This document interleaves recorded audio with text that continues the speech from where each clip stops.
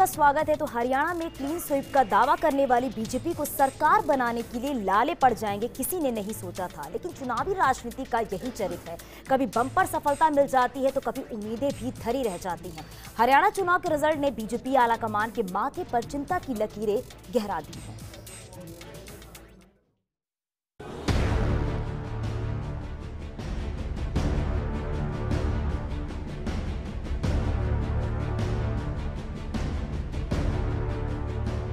हरियाणा विधानसभा चुनाव के नतीजों और मिल रहे रुझानों के बाद राज्य की सत्ताधारी पार्टी बीजेपी की मनोहर लाल खट्टर की सरकार की वापसी मुश्किल नज़र आ रही है। राज्य में त्रिशंकु विधानसभा के संकेत साफ़ साफ़ झलकने लगे हैं। हालाँकि बीजेपी अब भी सबसे ज़्यादा सीटों या रुझानों के साथ सबसे बड़ी पार्टी के तौर पर उभरी है। इसके साथ ही ये भी स्पष्ट हो गया कि राज्य की अगली सरकार की चाबी अब दुष्यंत चौटाला के हाथ में इनके साथ कई निर्दलीय विधायकों का महत्व भी बढ़ गया है।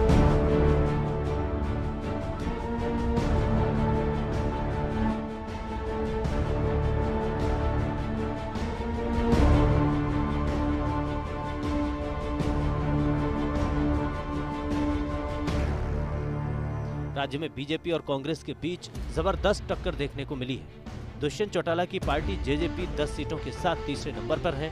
निर्दलीय समेत अन्य दलों के खाते में आठ सीटें दिखाई दे रही हैं।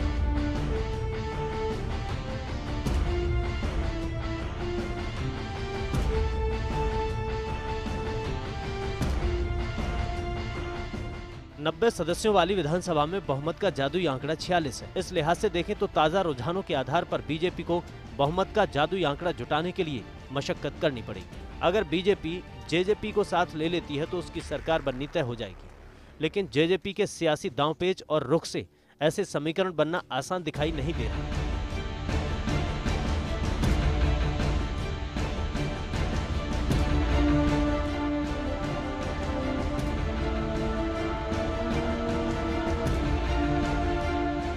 उधर दूसरे नंबर पर चल रही कांग्रेस, जिसके पास 30 से ज़्यादा सीटें दिखाई दे रही हैं, ऐसे में सरकार बनाने के लिए उसे जेजेपी की ज़रूरत होगी ही। चुनावी मिजाज और सियासी समीकरणों की बात करें तो जेजेपी कांग्रेस को समर्थन दे सकती है, लेकिन इसके लिए कांग्रेस को बड़ी कीमत चुकानी होगी। दुष्यंत चौटाला उप मुख्यमंत्री का पद और कई दमदार मंत्रालयों की मांग कर सकते हैं। आईएनएलडी भी कांग्रेस को समर्थन दे सकती है। राजनीतिक जानकारों का मानना है कि कांग्रेस जो पिछले पाँच साल से राज्य की सत्ता से बाहर है, बीजेपी को रोकने के लिए किसी भी समझौते के लिए तैयार हो सकती है। ऐसे में सवाल यह है कि बीजेपी की हालत हुई क्यों? दरअसल ओवर कॉन्फिडेंस बीजेपी को ले डूबा। हरियाणा में 75 से ज़्यादा सीटें जीतने का दावा किया गया था 35 से 40 सीटों के आसपास पार्टी सिमट गई। विपक्ष को कमज़ोर आंककर चलना महँगा पड़ा, हरियाणा का मूड भांपने में बीजेपी नाकाम रही। अनुच्छेद 370 और राष्ट्रवाद के मुद्दों पर वोट नहीं पड़ा। कांग्रेस के नेताओं को भी अंदाज़ा नहीं रहा होगा कि बिना किसी रणनीति और बगावत को झेलते हुए वो बीजेपी को 50-50 की लड़ाई पर मजबूर कर देगी।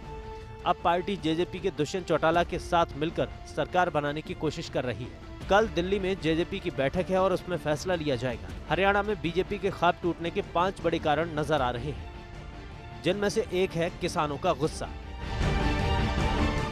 हरियाणा में मनोहर लाल खट्टर की सरकार ने किसानों से बड़े बड़े वादे किए थे, जिसमें किसानों से उनकी फ़सल को खरीदने का वादा किया गया था। ये वादा बीजेपी ने चुनावी घोषणा पत्र में किया था, लेकिन सच्चाई ये है कि खट्टर सरकार इस मामले में बुरी तरह से फेल हो गई। किसानों के हित में बीजेपी सरकार ने कोई कदम उठाए ही नहीं, और इसका खामियाजा भुगतना। इसका एक और कारण है खट्टर एंड कंपनी का बड़बोलापन।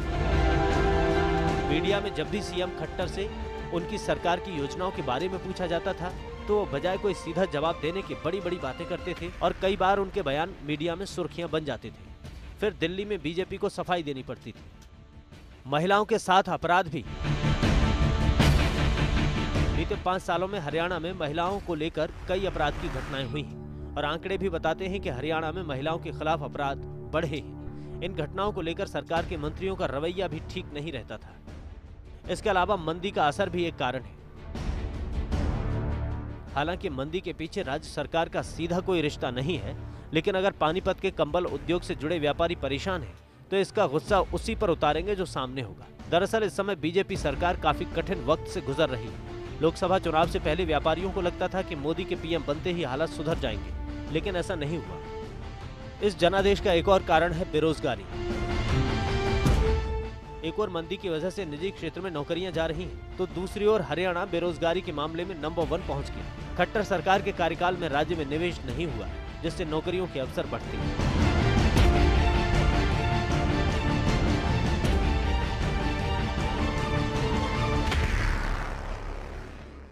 ज़ाहिर है इस मुद्दे ने बीजेपी को डेंट किया है। अब बीजेपी के लिए ये हार एक सबक है। सबक ये कि एक ही मुद्दा हर चुनाव की नैया पार नहीं लगा सकता।